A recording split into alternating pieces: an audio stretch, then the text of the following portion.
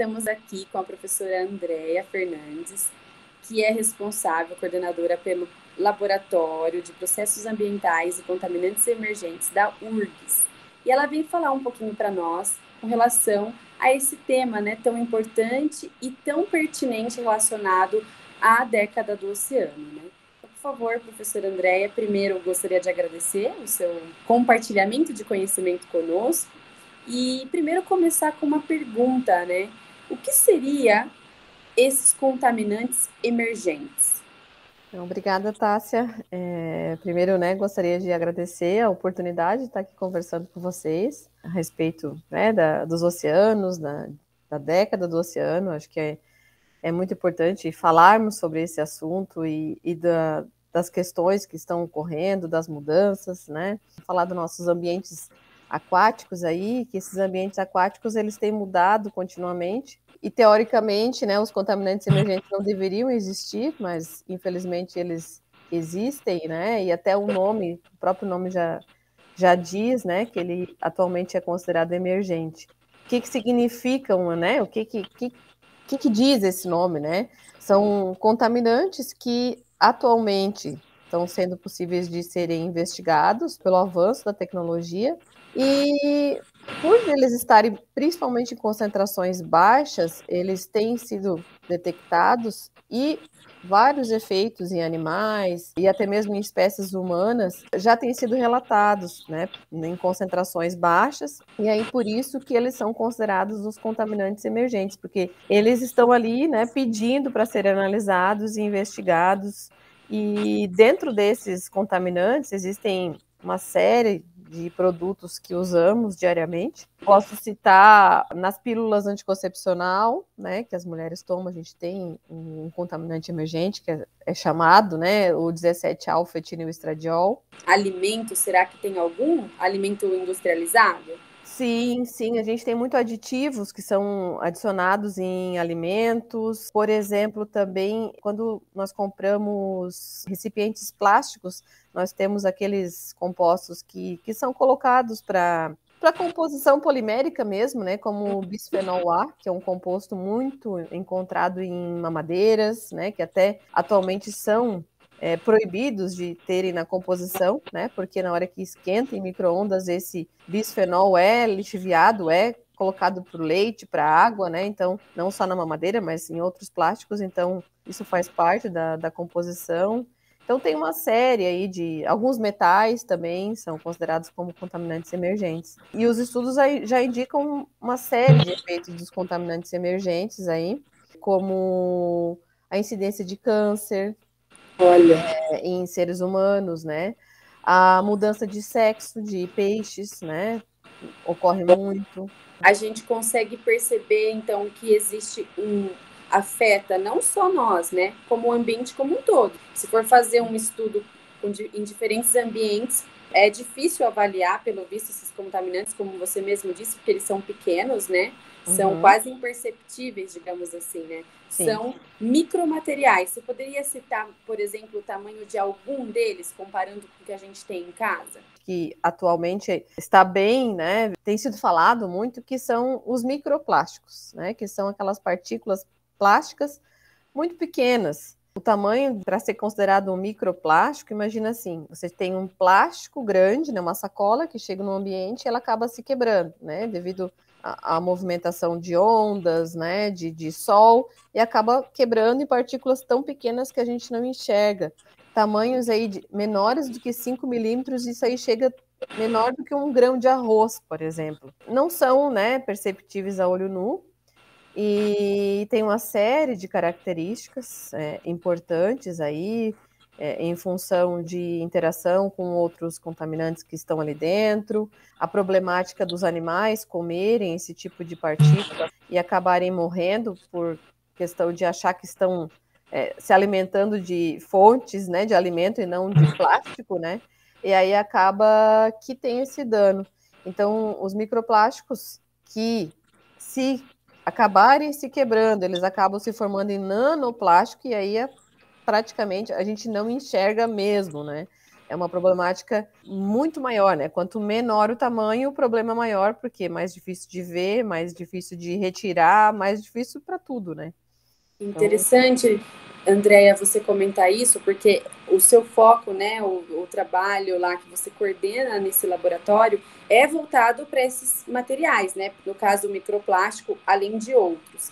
E Sim. como que vocês estudam esse microplástico? Você poderia citar é, como que é feito o processo? Por exemplo, vocês vão a campo, vocês vão em algum ambiente que tenha, né, cursos de água? Então, o nosso laboratório, ele tem uma série de, de linhas de pesquisa sobre os microplásticos. Nós estudamos é, a exposição desses microplásticos em organismos aquáticos, que são os bivalves, né, o, o mexilhão, né, e a gente tem estudado, e como eles são organismos filtrantes, a gente observa que eles estão filtrando e está entrando os microplásticos ali e a gente acaba se alimentando, né, desses organismos, né, depois. Mas a nossa pesquisa também, né, com relação, como nós estamos em Porto Alegre, Porto Alegre tem o Lago Guaíba, que, que é um nosso principal manancial de abastecimento aqui de Porto Alegre, região metropolitana. Explicando um pouquinho a, a logística do, do Guaíba, ele né, banha a cidade de Porto Alegre, mas ele recebe né, o chamado Delta Jacuí, que são os rios que vêm da serra, né? Então ele vem trazendo todo o lixo da serra, digamos assim, né? Vem, é, chega o rio, o, o, rio Jacuí, é, o rio Gravataí, né? São todos rios que vêm de cidades como Novo Hamburgo, uma cidade grande, Gravataí. Como que nós estamos estudando, né? Nós fizemos a coleta campo, né? Porque para coletar os microplásticos a gente precisa de um processo de coleta de um barco, de uma rede de coleta. Então a gente faz coleta em vários pontos da cidade, então desde o momento da chegada do Delta do Jacuí até passar por toda a urbanização da cidade, chegando numa região menos urbanizada. E o que que nós observamos já? Nós temos aí é, oito coletas, né, em várias estações do ano. Então, assim, primeira coisa que a gente observa, em todas as oito coletas que coletamos, nos dez pontos distribuídos pelo Guaíba e próximo à chegada do Delta Jacuí, tem microplástico, todos eles têm. Esses microplásticos, eles são bastante diferentes, assim, porque eles são têm cores diferentes, então os plásticos eles podem ser, né, então vermelho, preto, mas a maioria dos microplásticos que a gente encontra são aqueles brancos, transparentes, provavelmente de sacolinha plástica, copinho, aquelas embalagens né, que a gente usa, também. né? É, então assim, a nossa coleta ela é sempre, né, a gente sempre encontra microplástico e o que, que muda é um pouquinho de né, a quantidade para cada estação, para cada ponto, porque existe a influência não só do ambiente aquático que a gente está investigando, né, daquele ponto de coleta, porque daí tem profundidade diferente, é, proximidade da margem diferente, se choveu antes, se não choveu. Então uhum. tem uma série de fatores que influenciam né, esses uhum. resultados.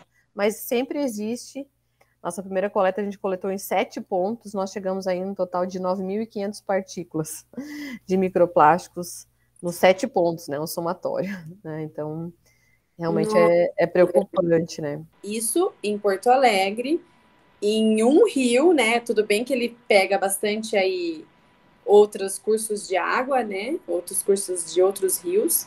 Agora, como monitorar? Se imagina, né? Nesse curto espaço já é um, um, trabalho difícil, já é um trabalho que é desafiante, né? Por, por conta justamente da invisibilidade, do tamanho, né? Uhum. Agora, como monitorar? A gente viu que recentemente vocês publicaram um, um artigo, né? É, mostrando uma tecnologia para auxiliar nesse monitoramento do microplástico. Você poderia comentar para a gente um pouquinho sobre isso? Uhum. É, as pesquisas a respeito dos microplásticos, ela, é, ela é bem recente, né, comparada às pesquisas de outras linhas, né? A pesquisa que é, no mundo de microplástico existiam pesquisas falando de pequenas partículas plásticas, mas até 2004 não tinha se definido que um microplástico era partícula menor do que 5 milímetros. Então, a partir daí, começou-se a estudar e tem se estudado muito, mas ainda precisa de muito estudo para chegar né, a algumas conclusões mais exatas, digamos assim. Mas o que, que a gente pode inferir disso? inferir agora, né? diante do que, que a gente tem feito e a gente tem estudado, porque nós estudamos muito né, sobre isso, é, é que Os microplásticos e nanoplásticos, eles estão, né? Eles são partículas onipresentes, eles estão aí em vários, né? Não só na, na água do mar, né? No nosso caso, por exemplo, aqui está no Guaíba, né? Ele chega aos outros rios, está no Guaíba, vai para a Lagoa dos Patos e chega até né, o Oceano Atlântico e assim ele segue, né? Então, uhum. assim, existem alguns trabalhos de sensoriamento né, remoto. Tem uma pesquisadora que trabalha muito sobre isso no, no Canadá, onde ela consegue avaliar, né, a partir de, de técnicas, né, bem bastante avançadas, de softwares, né, bem avançados, ela consegue fazer um monitoramento do caminho do plástico lá no Lago de Ontário, que é onde ela trabalha.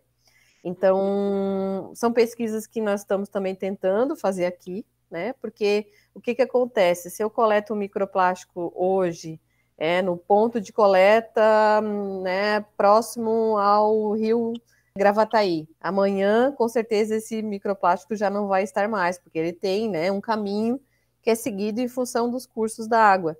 Então, é muito importante né, se saber os caminhos né, dos plásticos, dos microplásticos e nanoplásticos. E o que, que nós temos tentado estabelecer é tentar agilizar o processo, porque o processo de de coleta, extração e determinação, ele é bem demorado, bem minucioso. Então, o que, que nós trabalhamos, temos tentado fazer aqui no Instituto de Química? Nós temos aí um, um artigo que, né, que nós publicamos em que nós conseguimos analisar né, a quantidade, né, o número de partículas que a gente determinou para cada ponto de coleta, assim como as cores, né, que a gente define as cores também, né, a partir de um software, né, na verdade, uma equação matemática, né, onde a uhum. gente se tira uma foto e ah, pela, dos, pela, pela tom, foto, talvez. pelos pixels, é, pelos Ótimo. Pixels. E aí essa foto, né, aí é uma colaboração junto com meu um colega que está na Eslováquia agora. E aí a partir desse tratamento matemático, né, a partir do, de uma técnica chamada quimiometria, né, nós conseguimos substituir uma determinada análise que demoraria muito tempo, que precisaria de um olho humano, mas aí a gente consegue fazer a partir dessa imagem, né, que facilita muito mais esse trabalho. Que interessante, Andréia. Então, é. assim, a gente obtém esse dado da composição desses microplásticos, né? A partir das cores, a gente imagina também as origens desse microplástico, né? De qual material que ele veio, provavelmente, se foi de uma garrafa, se foi de um outro recipiente. Agora, pensando no tema, né, do oceano previsível, um dos temas aí um dos desafios também da década do oceano. Olhando assim, fazendo essa. Você já está há anos trabalhando com isso, né? Dedicando seu estudo nessa área. Qual é a previsão que a gente consegue ter do quanto que esses microplásticos ou vão aumentar e como que a gente pode trabalhar, se está tendo já algum trabalho relacionado a diminuir isso ou tirar isso do ambiente? É, é uma pergunta um pouco triste de ser respondida, porque realmente, a partir do momento que, que um plástico chega ali no, no ambiente, ele se fragmenta num microplástico, é um pouco difícil. Pouco se, pouco se sabe, né, como se retirar ele, praticamente nada, né?